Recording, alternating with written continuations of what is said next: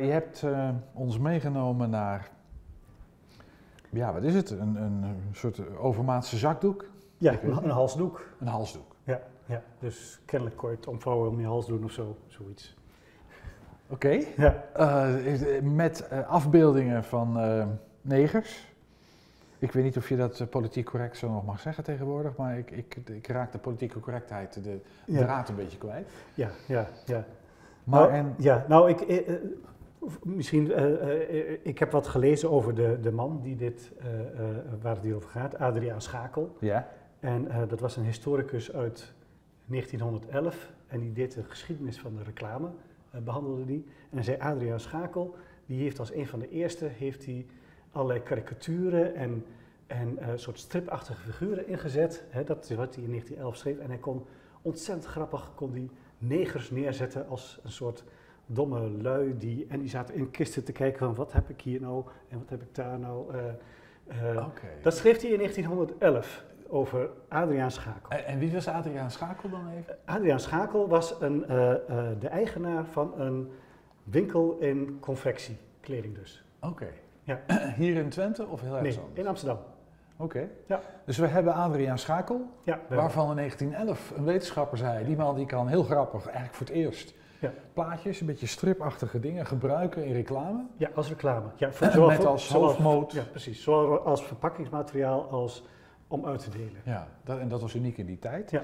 En, maar dit dateert, hè? ik zie hier Exhibition 1883 Amsterdam. Ja, dit is van de wereldtentoonstelling uh, in Amsterdam 1883, die als speciaal thema de koloniën had. Dus ah, het, was, het werd ook wel de koloniale wereldtentoonstelling genoemd. Oké, dus de wereldtentoonstelling, alle, alle wereldgrootmachten waren daar. Ja, en die hadden uh, paviljoens. Precies. En dan liet ze zien van wat ze allemaal uit de koloniën konden weghalen en wat voor uh, zegen ze ook brachten naar die koloniën.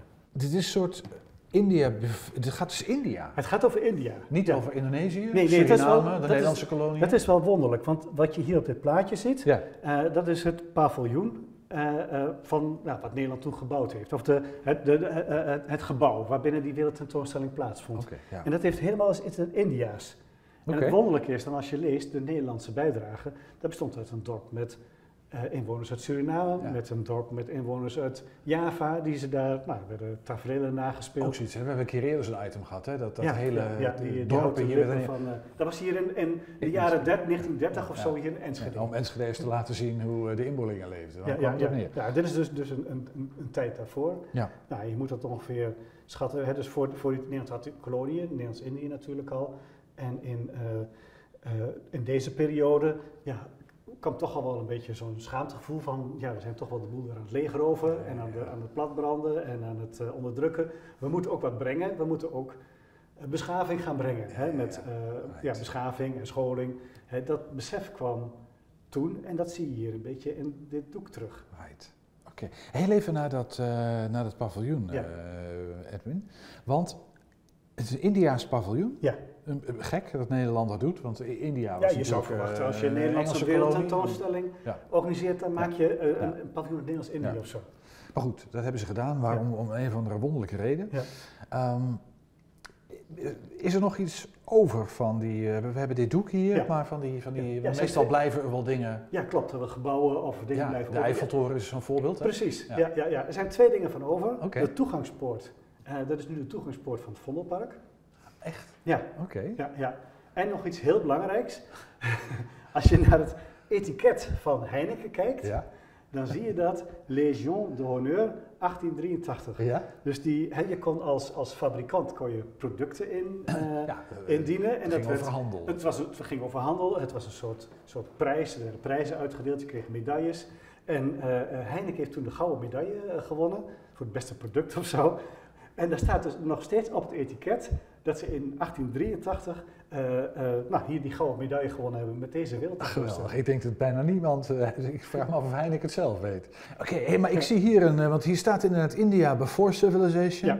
dawn of civilization, hier the advance of civilization. Ja.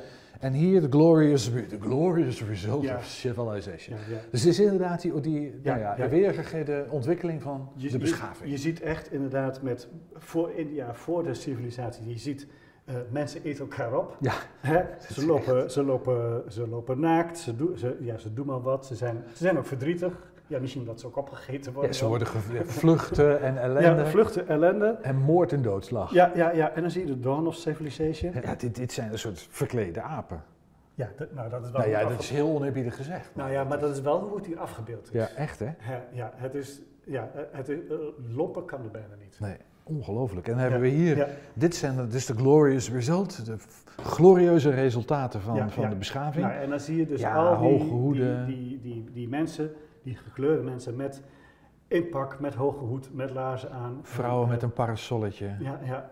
Lucifers hebben ze, ze hoeven genieten op een andere manier. Ja, ja wordt nog in de zak gerold uh, door uh, een jongetje. Ja, dit is ook nog steeds een soort Napoleon met een, uh, met een bril op, maar het loopt ja. erbij alsof het een Neandertaler is. Ja.